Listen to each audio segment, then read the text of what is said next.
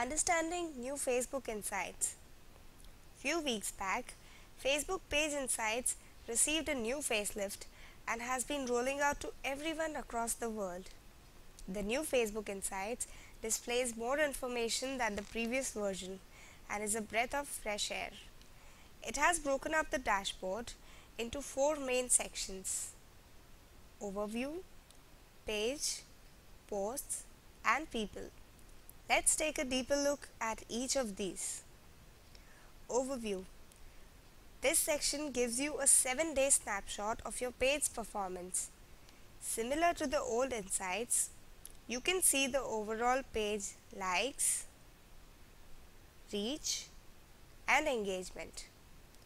Here you can also check out the performance of your 5 most recent posts detailed with stats about reach, post clicks, likes, comments and shares. The overview section is pretty straightforward and features a more visually attractive layout. Page The page section is filled with information about how your fan base has grown and how people are connecting with your page. There is a ton of information that is divided into three parts page likes, post reach, and page visits. In the page likes section, you will find information about your page likes, including total likes, net likes, and where your likes came from. This information is great when you need to really get down to the nitty gritty about how your community grows and where the growth comes from. Post reach. The post reach section digs deeper into your content's reach and actions that influence it. Here you will find post reach, engagement actions that influence reach, Negative engagements such as hide, report as spam and unlikes and overall reach. Now there will be no speculations if your client asks you why there is a decrease in post reach. You can point them to the exact reason.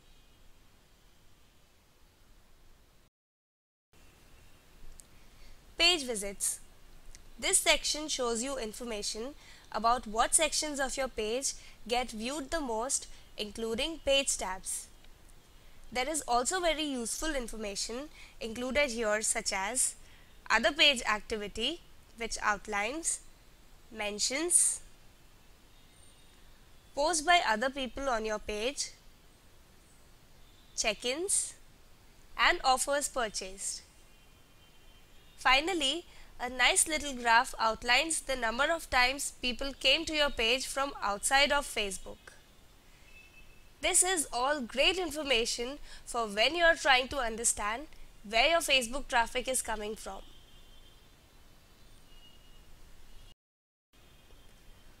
Posts In the post section, Facebook provides you with major information about all posts, when your fans are online, and best post types. This section is a major improvement and provides a ton of great data. Under all posts, you will find the basic breakdown of all your page posts. The data points include reach, post clicks and engagements. When your fans are online. This graph shows you when your fans are online. This answers that magical question about when is the best time to post.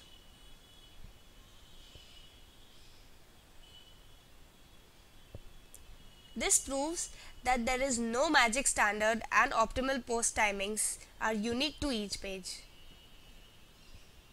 Best post types Always wanted to know the success of different post types? Well, now you can. The best post type sections shows data based on average reach and engagement.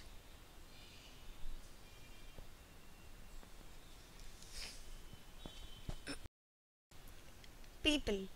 The section for people allows you to compare the demographics of people who have liked your page with the overall demographics of Facebook's total population.